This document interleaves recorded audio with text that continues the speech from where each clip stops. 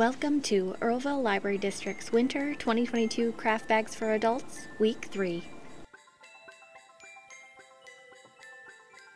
For our final week of winter crafting, Miranda has prepared a vase filler Christmas tree.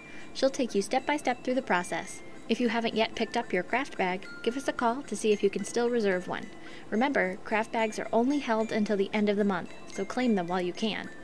Even without one of our craft bags, these materials are pretty easy to come by if you'd like to try making this one on your own. Let's get started. Here are the supplies you'll find in your craft bag. You can use this as your shopping list if you're making this one on your own. Also, if you don't have a hot glue gun at home, the library has some you can borrow for free. Ask any librarian and they'll get you set up. The first task is to lay your newspaper down, grab your paintbrush, green paint, and styrofoam cone, and paint your cone green. Miranda says the best practice here is to dab your paintbrush into the styrofoam instead of dragging the brush on top of it. This will help sink the paint into all of the nooks and crannies. Set your cone aside, and when it's dry, you can move on to the next step.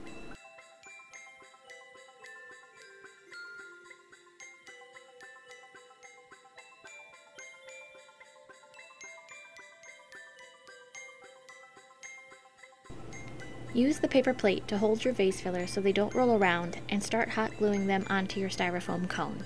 Starting with the base of the cone, glue on one row in one color of the biggest size. Make sure not to glue your first row so low that it keeps your cone from standing on its base. Give each ball a moment to set with the glue before moving on.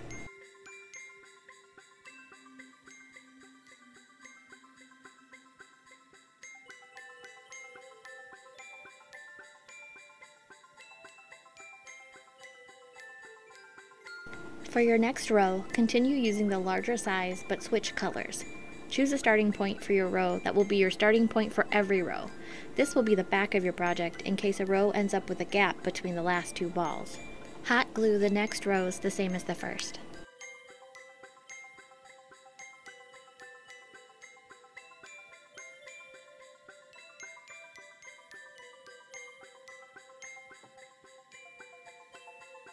Continue gluing rows of large vase filler on your tree until you start reaching the top. Then you can switch to the smaller size to help encourage the tapered look of the tree. Miranda did six rows of large vase filler before switching to the smaller size. Then, for the final round at the top of the tree, she used the very smallest size. Don't glue any vase filler to the very top of the tree. That's where you'll hot glue your star.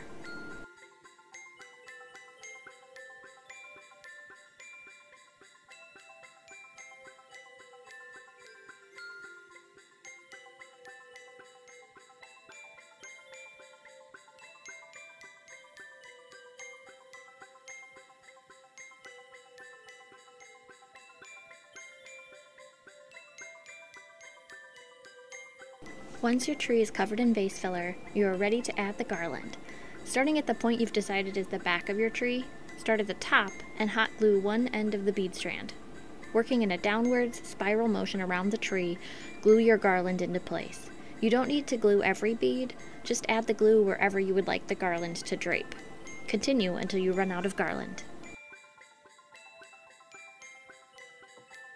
For more garland, Miranda uses a pipe cleaner that she gets started at the back of the tree where she started the bead garland. Hot glue your pipe cleaner to that point and wrap around the tree just beneath the bead garland.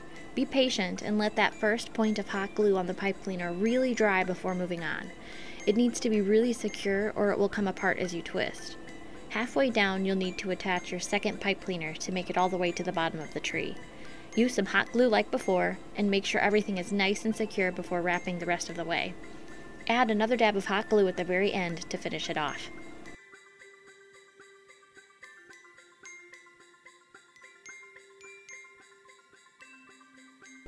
We hope you enjoyed our last week of December crafting for 2022.